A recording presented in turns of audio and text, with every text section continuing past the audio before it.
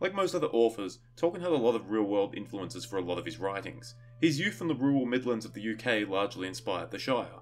The Valley of Lauterbrunnen in Switzerland was his inspiration for the Valley of Imladris, and the Dead Marshes were inspired by Tolkien's horrific experiences in the Battle of the Somme. But one of the strongest real world parallels that people draw is that Gondor must have been inspired by the Roman Empire, or more specifically, the Eastern Roman Empire, commonly known as the Byzantine Empire or Byzantium. I'm mostly going to call it Byzantium to make it easier, so just remember that when I'm talking about the political entity that existed from 395 to 1453 AD. There are, in fact, a remarkable amount of similarities between the two nations, so what are they?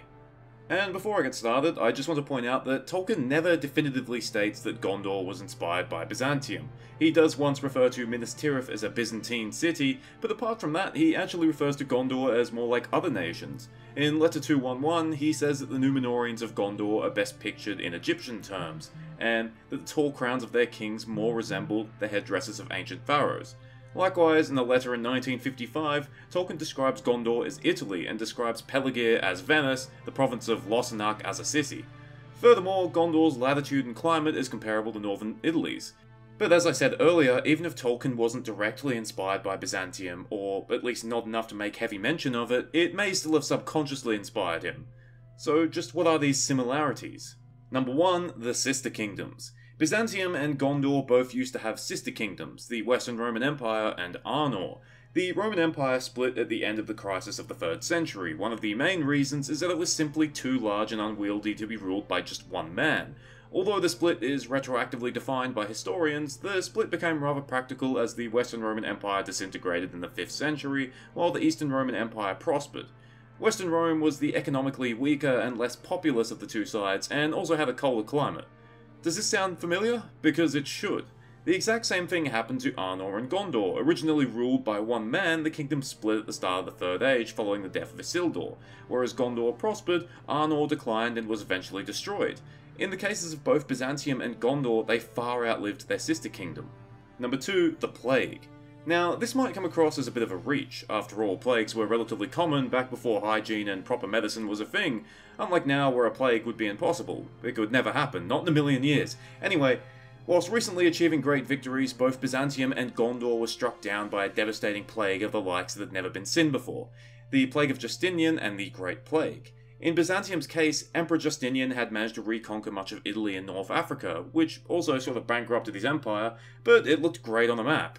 In Gondor's case, Hyarmendacil II had recently scored a massive victory over the Haradrim, and his grandson, Telemnar, was preparing a deal with Umbar. However, just as both nations seemed poised to retake the glory of their ancestors, they were struck down by a pandemic that would kill off huge percentages of their population. The huge death toll both nations suffered would ensure that they would never truly recover their strength, not even centuries later. Number 3. The enemies. Byzantium fought many enemies throughout its existence, the Vandals, the Bulgars, the Persians to name a few, but the two enemies who did the most damage were the Arabs and the Turks. Likewise, Gondor most often found themselves in battle against the Easterlings and the Haradrim. Note, this may seem like cherry picking, but the characteristics of both nations' enemies are pretty similar. The Arabs invaded from the south, from the desert sands of Arabia, and later used their fleet to great effect. Oddly enough, the Haradrim also invaded from the south, from the desert sands of Harad, and later used their well, it wasn't their fleet technically, but the Umbar and the Haradrim were very closely allied, so it may as well have been. Likewise, the Turks were migratory tribes that often invaded westward, carving out their own empires. The Easterlings were also migratory tribes that often invaded westward, also carving out their own empires. Another thing is that the Arabs and the Turks mostly followed Islam, whereas the Easterlings and the Haradrim mostly acted in service of Sauron. And just to be clear, that isn't me likening Islam to Sauron. Another similarity is the rise of a new enemy late in the game. Byzantium had to contend with the newly risen Ottoman Empire, and Gondor had to contend with the newly risen Mordor. Number 4. The Bulwark. Byzantium and Gondor both share a unique position in regards to their geopolitical surroundings. They were both regarded as a bulwark against other foes. In Byzantium's case, a bulwark against Islam and the peoples of Western Asia. Even though, you know, the Spanish Peninsula was mostly controlled by Muslim rulers at this point, Likewise, Gondor was seen as a bulwark against the threat of Mordor and the other evil men to the east and south. In both cases, it was said that should they fall, the floodgates would open up and all of the lands they protected would fall as well. This is definitely true in Gondor's case. If Gondor falls, the rest of the Westlands were undoubtedly doomed. As for Byzantium, well, real life is a little less black and white. Byzantium was more or less a corpse after the Fourth Crusade, so it could be argued that they didn't really do much defending, and their enemies weren't exactly frothing at the mouth to conquer all of Europe. Once again, not so black and white. But to be fair, after Byzantium fell in 1453, the Ottoman Empire did conquer much of the Balkans and Eastern Europe, so there you go. Number 5. Assimilation. Part of what made the Roman Empire so successful was how well they assimilated other peoples into their culture, and a major reason why they fell is because they stopped being good at that. Eastern Rome in particular would assimilate all sorts of people Slavs, Goths, Turkic tribes, Armenians, and of course, who could forget the iconic Varangian Guard made up of Norsemen. Similarly, the Dunedain of Gondor would also assimilate other men, firstly the middlemen who lived west of the Anduin and in the vales of the White Mountains, and then eventually many Northmen who came south.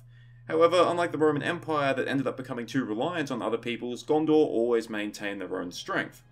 And number 6. Prophecies. One of the many legends that surrounded Constantinople and Byzantium's eventual fall was the legend of the Marble Emperor. This was the idea that the last emperor of Byzantium, Constantine XI Palaiologos, was turned to marble as the city fell, but would eventually rise again to retake the city for the Romans and drive the Turks back to their homeland.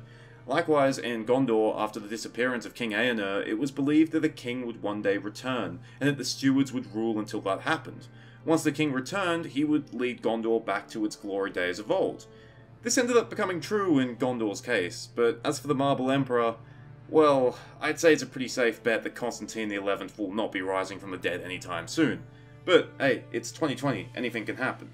There's also a lot of other minor similarities as well. The impenetrable outer wall of Minas Tirith could be likened to Constantinople's Theodosian walls.